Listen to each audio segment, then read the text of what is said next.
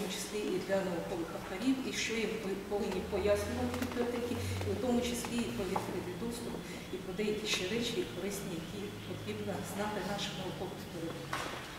Ну, весь світ зараз перебуває у чому, що відбуваються процеси інтеграції на різному рівні. Це ми бачимо всі. всі. Завдяки розвитку веб-технологій це стало можливим. І які ці процеси основні, я скажу. Це інтеграція різноформатних інформаційних ресурсів на одній пошуковій платформі, реалізація для користувачів єдиної точки доступу до цих ресурсів. Це так би мовити перший аспект, який відбувається. Далі інтеграція документних ресурсів різних установ з метою формування загальнонаціональних історико-культурних та наукових електронних певного настрою.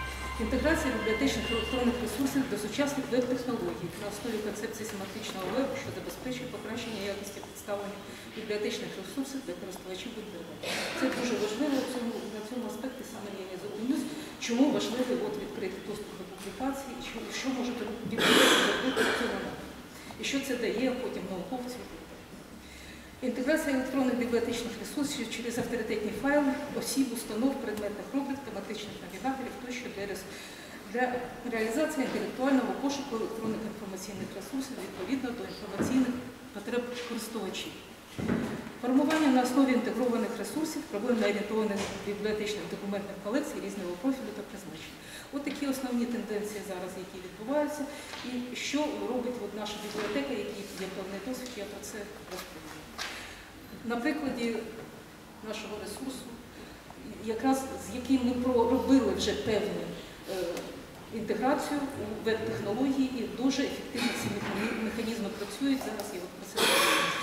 У нас був ну, підписана така домовленість з Google Scholar системою, і повністю наш ресурс інтегрований був туди. Кожен день е, роботи цієї системи забирають на метадані, які розташовані. Тобто кожна стаття розміщена науковій переводиться, супроводжується певною системою метаданих, яку розуміє робот. Оце і є та концепція семантичного вебу, про що йде річ, що на сьогоднішній день е, інтернет це дуже зручно, але там таке навало і навантаження інформаційне, що людина просто не може з цим справитись. Така кількість інформації. Тому повинні якісь фільтри накладатись на ту інформацію. Бібліотеки, особливо наукові, повинні пропонувати якісний продукт, гарантувати його якість і науковість цих ресурсів. І тому, от е, чому від Гугля відділився Google Scholar або Google Академія, тому що саме вони фільтрують наукові ресурси. Що дають ці технології на сьогоднішній день е, ми отримуємо, дивимося, що відбувається. На першому слайді я можу показати, можна подивитися е, на нашому сайті, якщо зайдете, подивитися, це дуже цікаво запрацювала ця технологія семантичного вебу. Ви можете шукати через Google, але ви попадаєте вже не на повний текст статті, а на бібліографічні її описи, цитування у нашій системі. І тобто людина отримує повну інформацію про цю статтю. До того ж, вона проіндексована в Google Scholar, попадає туди дані, і можна подивитись повну інформацію про автора, цитування цієї публікації, і також його бібліометричний профіль. Це, так би мовити, на сьогоднішній день стало дуже популярно у науковців і Західного світу, і Америки. Чому? Тому що це ну, є ефективна альтернатива тим комерціалізованим системам наукометричним, які сьогодні пропонують інструменти, але вони теж монетизовані на сьогоднішній день ці системи. І тому це є альтернатива. У всякому разі, ви можете себе презентувати у вільному інтернет-середовищі, і ви можете реально побачити, хто цитував вашу публікацію, хто посилався на вас, хто цікавиться вашою роботою, які зв'язки прослідкувати навіть особисто для себе. Автор це дуже цікаво науковці, які ефективно працюють. От, на прикладі бібліотечної статті, популярний автор бібліотечний Соловутка. Далі. І от яким чином ми пропонуємо далі продовжити цю роботу. Є ще в нас такі інструменти на сьогоднішній день, які ще не реалізовані на порталі, але найближчим часом з'являться. Це ну, тут трошки ще розповім, що відбувається от з публікаціями. От публікація перша зеленим введена, це публікація з сайту журналу, який неправильно організований з точки зору технологій, веб-технологій. І це публікація, от, яка на порталі НДО розташована. Що відбувається? Тут а, людина натискає кнопку, бачить повний текст статті. І взагалі, якщо ви на опис цієї статті, статті подивитесь, тут лише назва, яку робот знайшов. То нижче ви можете подивитись, там є автор статті, є правильна назва статті, є цитування статті, і він попаде на повний опис статті, з якого журналу, де вона розташована і так далі. І так далі. Тобто це свідчить про якість от, роботи системи. От тут показано, наскільки користуються попитом ті посилання на Google Scholar з нашої системи, можете побачити. 250 користувачів на добу натискають і дивляться, як цитуються їх публікації. Це статистика, от як запустили з квітня прошлого року, ви можете побачити, це дуже популярна стала. От. Тобто ми таким чином популяризуємо свій здобуток. Ми бачимо. Поки доберуться до паперової версії, невідомо. У всякому разі, те, що стосується наукових публікацій, які призначені для самопрезентації себе, для презентації того, що я працюю саме з напрямком, це дуже важливо. Далі. Що ми будемо розвивати далі? І у нас вже готуються ці інструменти, вони на стадії редагування і підготовки технологічної. Буде авторитетний файл науковців у нас створений. От, Буде така презентаційна картка науковців.